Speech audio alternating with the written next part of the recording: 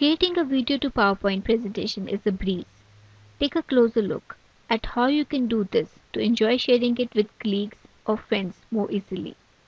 Here's a previously created PowerPoint with cool images and text. To convert it into a video, first set the rehearse timings. Go to the slideshow tab, click on rehearse timings, and the presentation opens in the slideshow mode.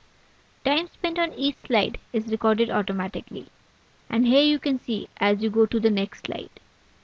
Save, press escape key on your keyboard. A pop-up window appears asking you to save the new slide timings. Click yes option. Make sure the time is set for each slide. Now upload your presentation to authorSTREAM account. Once your presentation is uploaded, go to My Stuff drop-down. Click My Presentation options.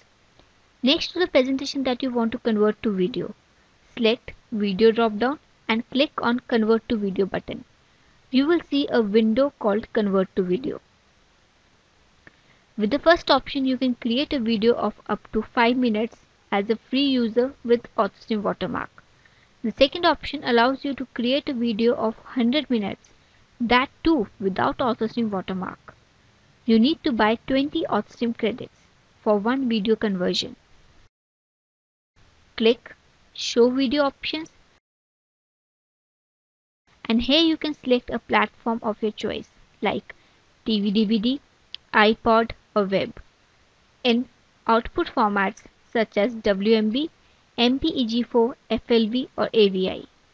Even set the video size with two different options 1x and 2x. Check the options allow viewers to download presentation video.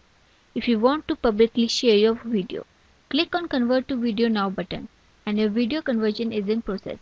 You will see a message saying your presentation being converted into video and that you will receive a confirmation mail and under video drop-down in progress message appears.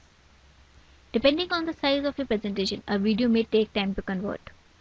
Once you get your PowerPoint in a video format, you can download it. Select download drop-down, right click the video button and save the file on your system. Now showcase the video to the world through YouTube. Select video drop down again. Click send to YouTube button. Type in your YouTube credentials and here's the video posted on YouTube account. You can go ahead and share your creative work with the world exactly the way you want.